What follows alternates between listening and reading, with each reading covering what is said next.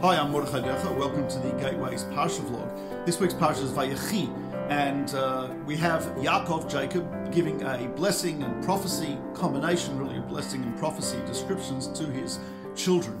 And very beautiful uh, Parsha, a lot of poetry, very difficult to understand. There's one verse uh, towards the beginning in which uh, Yosef says to, uh, uh, sorry, Yaakov, Jacob says to his sons, he says, Unasaticha likahal amim, which means I will make you into a community of nations. Kahal, community, amim, of nations. And it's interesting what exactly that means. So, Rabbi Samson Raphael Hirsch understands it as meaning that uh, this is a prediction and a blessing that the Jews will not be just one type of person, one personality, one career, etc., will be a community of nations. Every one of the 12 tribes, as they developed later on in history, developed very different character traits, different characteristics, different talents, different areas of expertise, etc.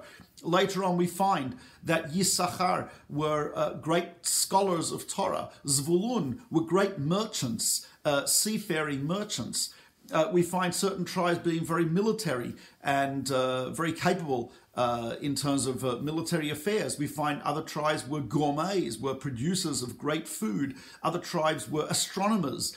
So uh, Rav Samson Raphael Hirsch points out, he says, this exactly is in order to teach us that there is no one particular personality type, career, talent, and type of person that the Torah, that a relationship with God is available to. Rather, a relationship with God and a relationship with God through the Torah is available to anyone, no matter what your personality type, what your talent, uh, what your proclivities. A person could be a great business person and also be a great and righteous person. Someone could be an excellent chef and still be a great and righteous person. Someone could be a plumber or a scholar or a soldier or a politician or a greengrocer. And he says, he says the ideal of God is that the Jews should not be all clones.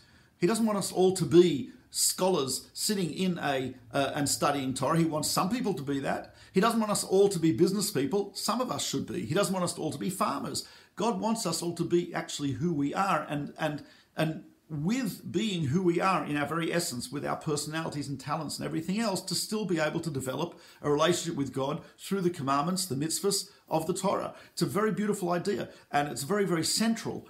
Uh, Hirsch says central to Judaism to understand that uh, you cannot necessarily expect every person to be the same.